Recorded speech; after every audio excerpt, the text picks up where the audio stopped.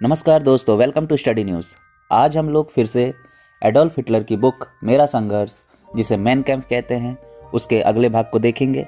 इससे पहले आपने देखा कि उन्होंने विषम जातियों के बारे में, एक विशेष वर्ग के बारे में और ऑस्ट्रिया में अपने देश हित के बारे में बातें की।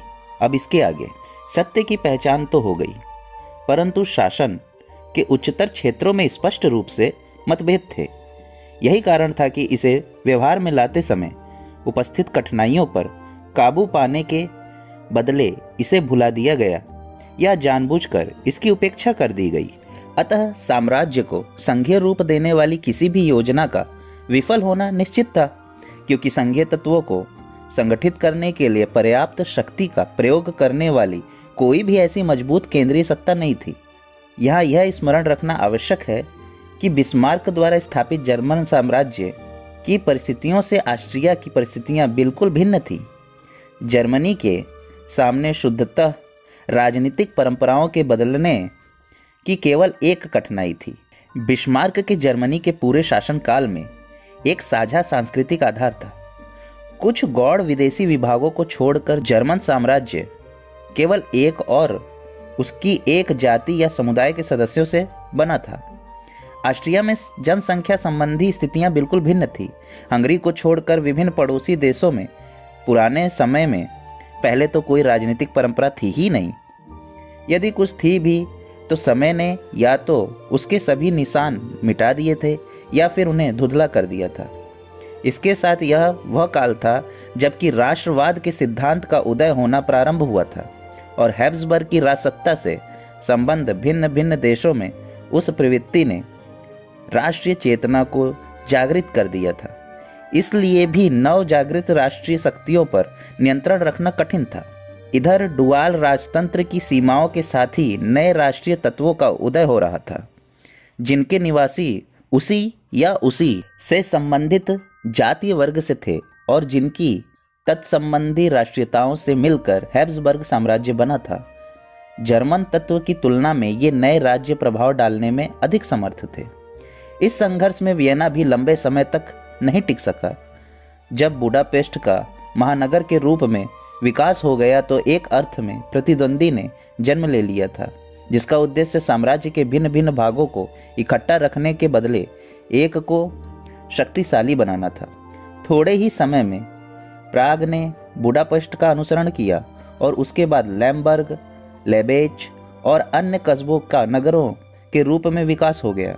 इस प्रकार राष्ट्रीय नगरों के रूप में विकसित कस्बे स्वतंत्र, सांस्कृतिक जीवन के समाहरण केंद्र बनते गए। इससे राष्ट्रीय भाव को अत्याधुनिक आधार मिल गया और लोगों पर इसकी पकड़ ज़्यादा मज़बूत हो गई। अब उस स्थिति का आना स्वाभाविक था, जब विभिन्न देशों के विशिष्ट हित सामान्य शाही हितों की अपेक्षा अधिक महत्वपूर्ण हो जाने थे। एक बार जब वह स्थिति आ गई तो ऑस्ट्रिया के दुर्भाग्य पर मोहर लग गई। इस विकास की प्रक्रिया जोसेफ द्वितीय की मृत्यु के समय से ही दिखने लग गई थी। इसकी दुर्गति कई तत्वों पर निर्भर थी। कुछ का जन्म तो राजतंत्र से ही हुआ और बाकी कुछ साम्राज्य द्वारा अपनाई विदेशी राजनीति की उपज थी। केंद्रीकरण की किसी सुदृढ़ और चिर स्थायी नीति के अभाव में ऑस्ट्रियन राज्य को स्थायी रूप से दृढ़ करण के किसी भी प्रयास का सफल होना असंभव था। कुछ और करने से पूर्व कम से कम किसी एक सर्वमान्य भाषा के, सरकारी भाषा के रूप में प्रयोग के सिद्धांत को तो अपनाया जा सकता था। इससे शाही कॉमनवेल्थ की औपचारिक एकता पर बल देना संभव हो जाता और प्रशासन के हाथ में एक तकनीकी उपकरण आ जाता, जिसके बिना कोई भी राज्य राजनीतिक इकाई के रूप में नहीं चल सकता था। इसी तरीके से पाठशाला आदि अन्य अन्य शिक्षण संस्थानों में सर्वमान्य नागरिकता की भावना को जागृत किया जा सकता था। ऐसे उद्देश्य को 10 या 20 वर्ष में प्राप्त नहीं किया जा सकता। इसके लिए ठीक उसी प्रकार शताब्दियों की साधना अपेक्षित होती है, जिस प्रकार उपनिवेशवाद की सभी समस्याओं के समाधान के लिए उस क्षण किए गए दमन चक्र जैसे प्रचंड प्रयत्नों की अपेक्षा शांतिपूर्ण और समझौते की लंबी बातचीत अधिक महत्वपूर्ण होती है। यह कहने की ज़रूरत नहीं है कि इन परिस्थितियों में देश का प्रबंध और प्रशासन व्यवस्था सख्ती से एक रूपता के सिद्धांत के अनुरूप रखना चाहिए था। ऐसा क्यों नहीं हुआ था? बल्कि ऐसा क्यों नहीं किया गया था? यह देखना मेरे लिए बहुत ही उपयोगी सिद्ध हुआ। मैं सोचता हूँ कि किसी एक त्रुटि के लिए दोषी व्यक्ति को हैब्सबर्ग साम्राज्य के अवटूटन के लिए जिम्मेदार ठहराना चाहिए। किसी भी अन्य राज्य की अपेक्षा ऑस्ट्रिया का अस्तित्व एक मज़बूत और योग्य सरकार पर अधिक निर्भर करता है। हैब्सबर्ग में जातीय एकरूपता की कमी थी। यही राज्य के राष्ट्रीय स्वरूप का मौलिक आधार होती है। यह ऐसे राज्य के अस्तित्व की भी रक्षा करती है, जिसके प्रशासकों की प्रशासन क्षमता भले ही कितनी भी थोड़ी क्यों न हो। वस्तुतः, कुशासन और कुप्रशासन के होते हुए भी प्रजा की स्वाभाविक निष्क्रियता के कारण ऐसा राज्य संगठित रहता है एवं अपना अस्तित्व बनाए रखता है। कई बार ऐसा लगता है कि ऐसे राजनीतिक संगठन में जीवन का तत्व मृत प्राय है, पर एक समय आता है जब मुर्दा दिखाई देने लगते हैं और मुर्दा दिखाई देने वाला यह राज्य उठ खड़ा होता है और संसार के सामने अपनी विलक्षण ओजस्वीयता का चमत्कारी स्वरूप पेश करता है। इसके विपरीत जहाँ आबादी समझाती नहीं होती और जहाँ एक शासक द्वारा शासित होने के अतिरिक्त प्रजाजनों में साझे रक्त का कोई बंधन नहीं होता। वहाँ परिस्थिति बिल्कुल भिन्न होती है।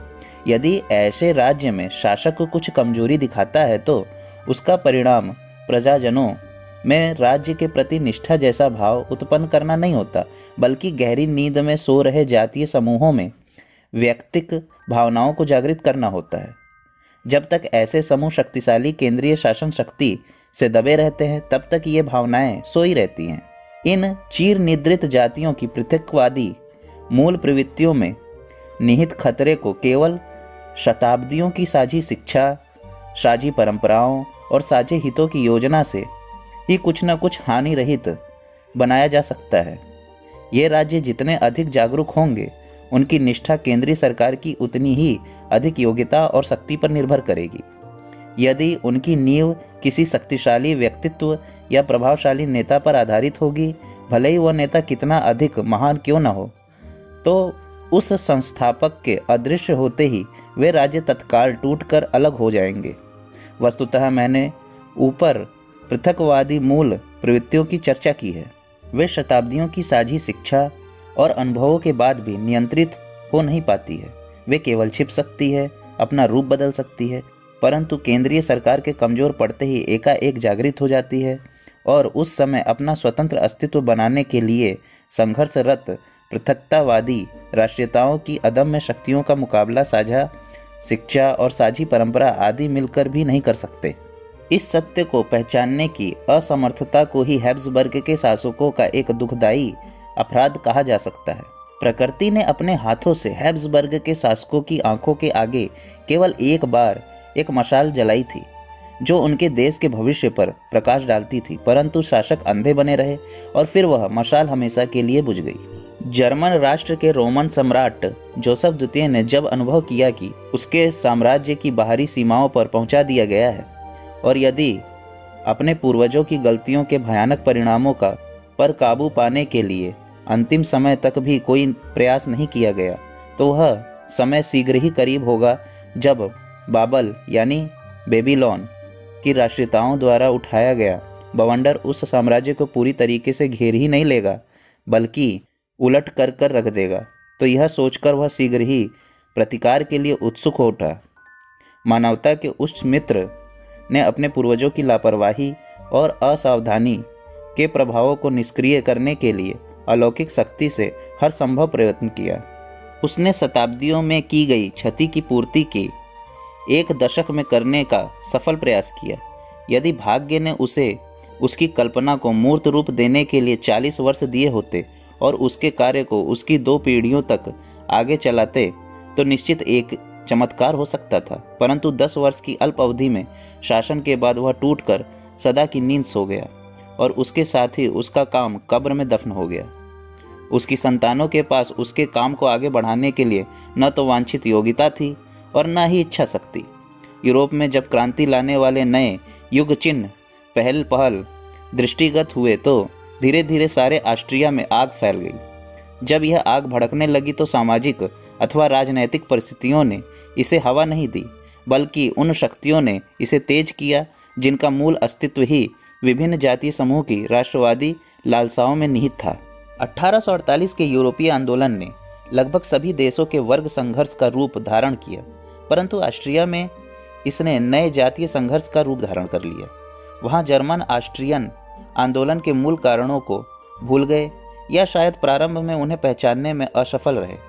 जब बाद में उन्होंने क्रांतिकारी विद्रोह में भाग लिया तो एक प्रकार से उन्होंने अपने भाग्य पे ही मोहर लगा दी।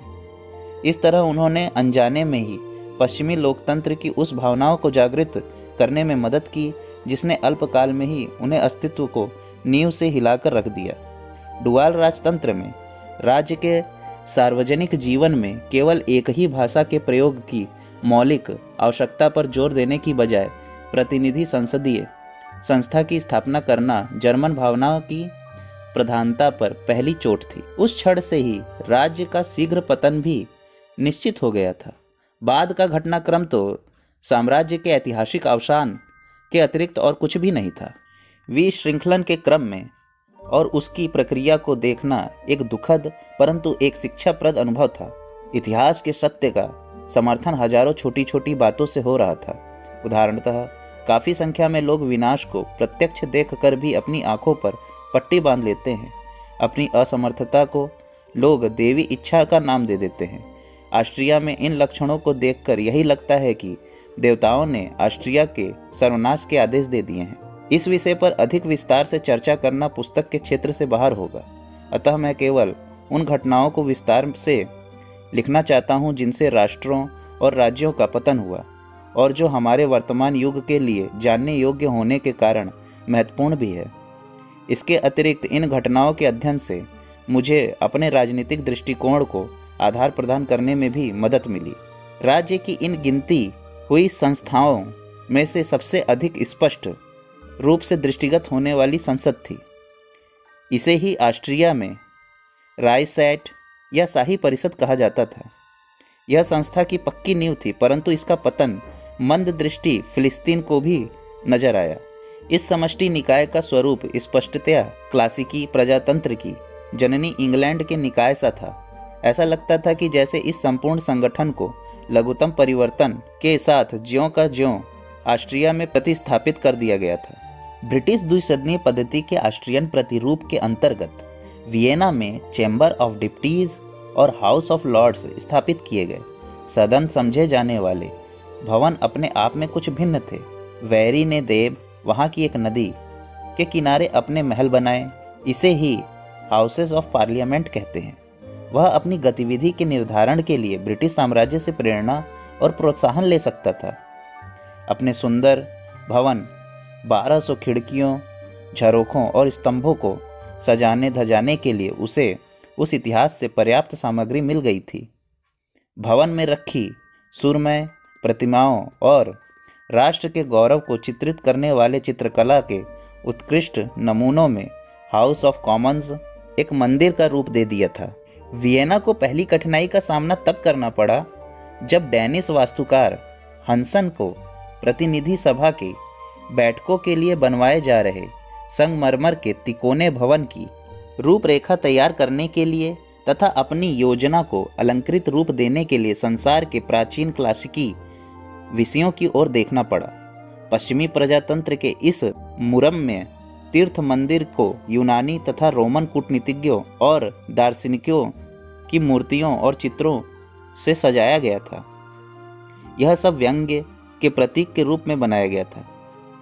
दोनों प्राचीन सदनों पर रथ के घोड़े चढ़े हैं, जो चारों दिशाओं की ओर भूमंडल को खींचते हुए एक दूसरे से विलग हो रहे हैं। उस भवन की दीवारों के अंदर जिस प्रकार की गतिविधियाँ चल रही थी, उनका प्रतिबिंबन इससे बेहतर और क्या ही हो सकता था। वियना के भवन को सजाने में ऑस्ट्रिया को चित्रित करना वहाँ की राष्ट्रीय भावना के विरुद्ध था। इस प्रकार की सजावट से उनका अपमान होता और इससे प्रजा के उत्तेजित होने की संभावना होती। लगभग यही स्थिति जर्मनी की थी।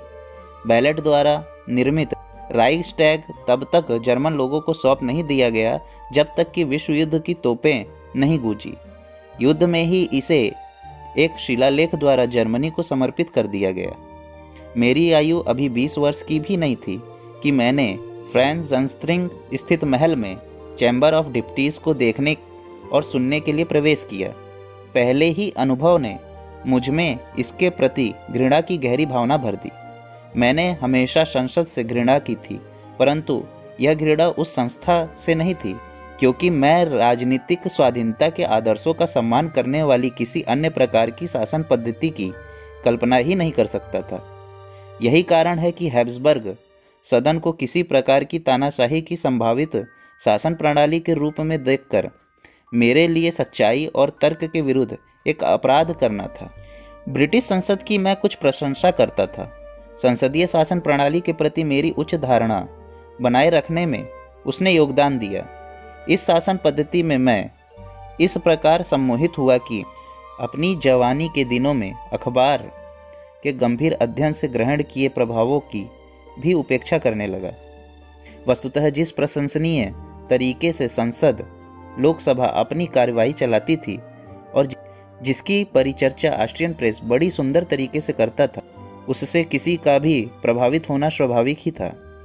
मैं अपने आप से पूछा करता, इस प्रजातंत्रीय शासन पद्धति को छोड़कर शासन चलाने का क्या कोई बेहतर तरीका हो सकता है? यहाँ यह उल्लेखनीय है कि इन्हीं धारणाओं ने मुझमें ऑस्ट्रियन पार्लियामेंट के विरुद्ध शत्रुता के भाव उत्पन्न किए। यहाँ संसदीय सरकार जिस रूप से चल रही थी, मुझे वह अपने आप महान आदर्श के विरुद्ध लगती थी। इसके अतिरिक्त निम्नलिखित परिस्थितियों ने भी मेरे दृष्टिकोण को प्रभावित किया। ऑस्ट्रियन राज्य में जर्मन जाति का भाग्य संसद में उसकी स्थिति पर निर्भर करता था। गुप्त मतदान द्वारा वयस्क मताधिकार को लागू करने के समय तक संसद में जर्मन प्रतिनिधियों का बहुमत था। हालाँकि यह बहुमत बहुत पर्याप्त नहीं था। राष्ट्रीय महत्व के प्रश्नों की चर्चा होने पर सदैव एक प्रकार की अनिश्चितता बनी रहती थी, क्योंकि जर्मन तत्व के सोशल डेमोक्रेटिक सदस्यों पर विश्वास नहीं किया जा सकता था।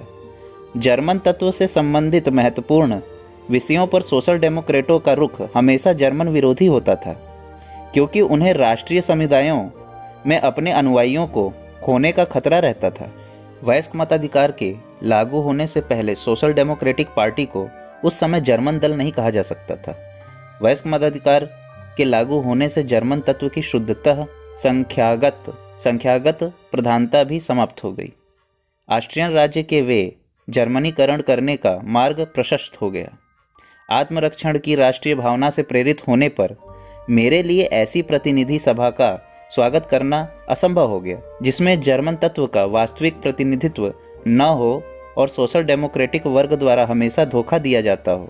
इसके अतिरिक्त कई अन्य दोष भी थे जिन्हें सामान्यतः संसदीय व्यवस्था का परिणाम नहीं कहा जा सकता था, बल्कि वे तो विशेष रूप से ऑस्ट्रियन राज्य की ही देन थे।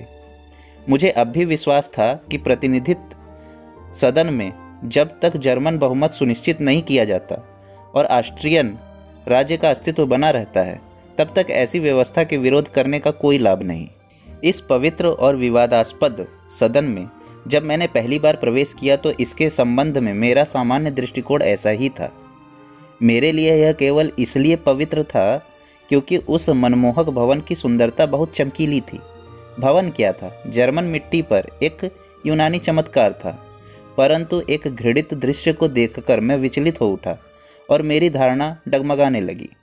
सदन में कई सौ प्रतिनिधि एक अत्यंत आर्थिक महत्व की समस्या पर विचार करने के लिए उपस्थित थे और प्रत्येक प्रतिनिधि को अपनी बात कहने का अधिकार था।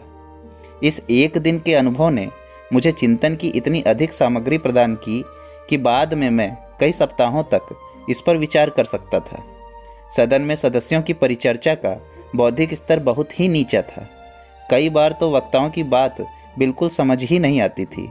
उपस्थित सदस्यों में से अनेक तो जर्मन भाषा बोलने की बजाय अपनी ही स्लाव भाषा बोलते थे। इस तरह मुझे वह सब अपने कानों से सुनने का अवसर मिल गया। जिसके बारे में मैं अब तक समाचार पत्रों पढ़ता आ रहा था। मुझे साफ़ दिखाई दिया कि सदन में सदस्यों के रूप में लोगों का एक जमघट था और सभी एक दूसरे पर चिल्लाते और गुर्राते थे। दयनीय स्थिति में बैठा हुआ एक वृद्ध व्यक्ति रह रहकर घंटी बजाता, जिसे अध्यक्ष कहते हैं, और शांति की अपील करता, तथा उपदेश और गंभीर चेतावनियाँ देता हुआ सदस्यों से सदन की गरिमा बनाए रखने के लिए बार बार आग्रह कर रहा होता। यह सब देखकर मैं अपनी हँसी को रोक नहीं सका। कई सप्ताह बाद मैं एक बार फिर सदन में गया। अब तो उसका रूप ही बदल गया। इतना अलग कि यह पहचानना कठिन था कि यह वही जगह है। सारा हाल पूरी तरह से खाली था। सदस्य नीचे के तल के दूसरे कमरों में सो रहे थे।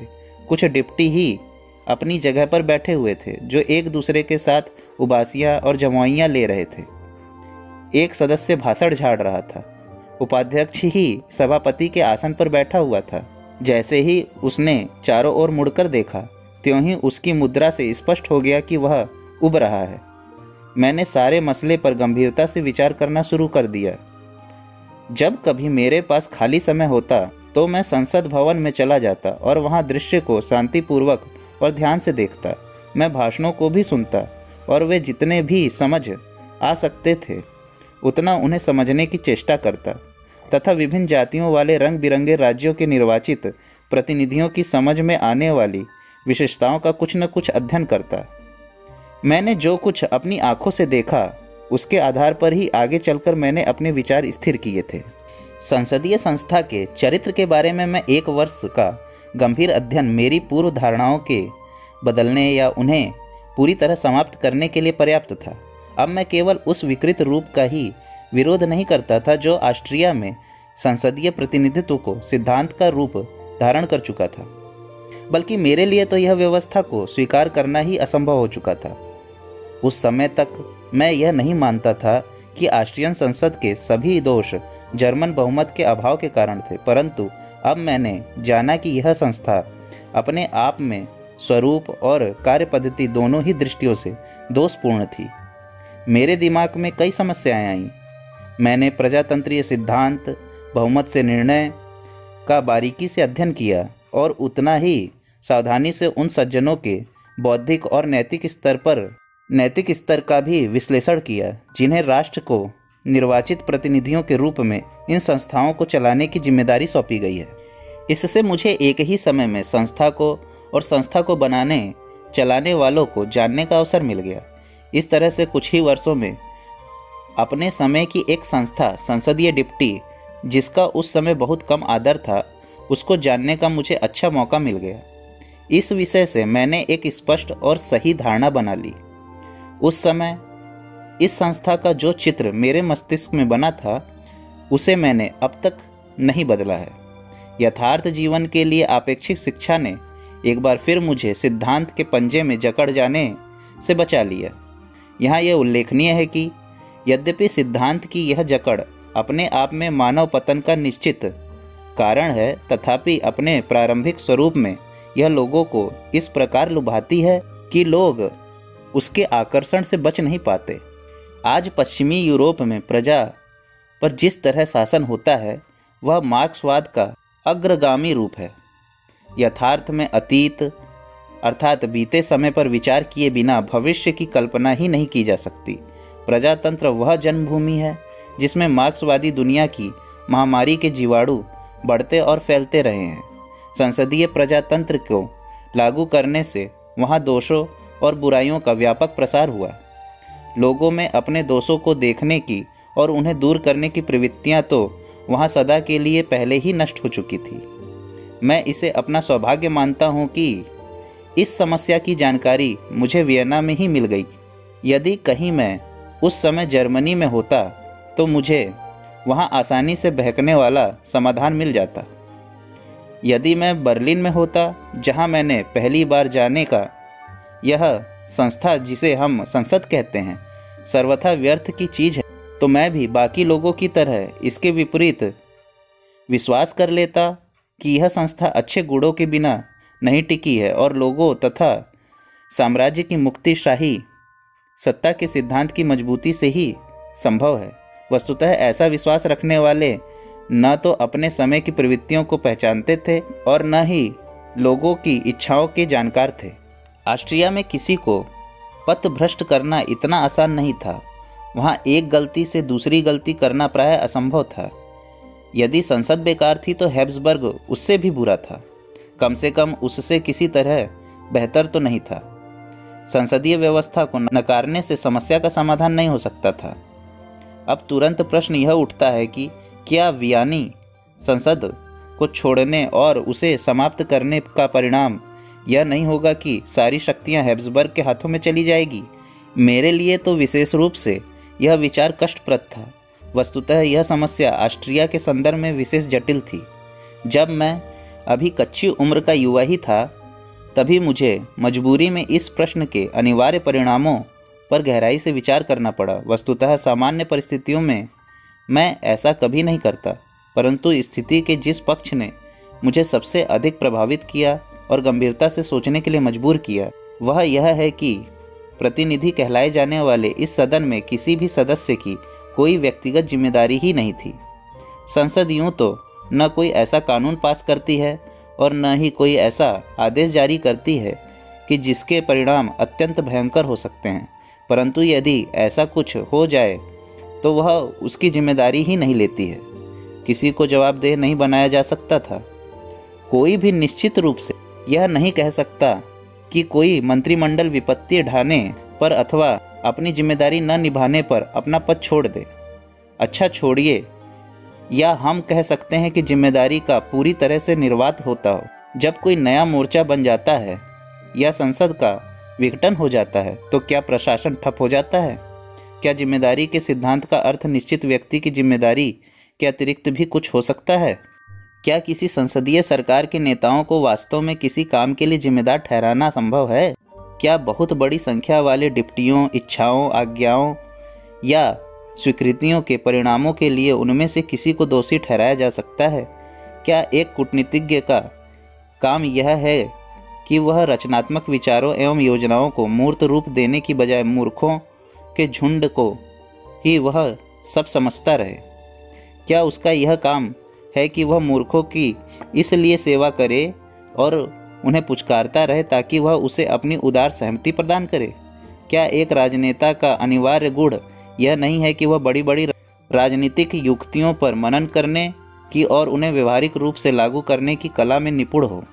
विचारणीय तथ्य है कि क्या एक ऐसी सभा में अपनी नीति को पारित तथा लागू कराने के लिए वांछित मतों का बहुमत प्राप्त न कर सकने वाला राजनेता अयोग्य है? जिस सभा का गठन चुनाव पद्धति के आकस्मिक परिणाम स्वरूप हुआ है और वह चुनाव पद्धति जिसका ईमानदारी से निर्वाही नहीं किया गया है क्या आज तक कभी ऐसा हुआ है कि किसी सभा ने किसी महान राजनीतिक अवधारणा को लागू करने के पहले उसका मूल्यांकन किया हो, उसके महत्व की पुष्टि की हो और उसकी सफलता का अनुमान लगाया हो? तो इस भाग में दोस्तों यहीं तक और अब अगले भाग में आगे देखेंगे। So thanks for watching this video please like subscribe and comment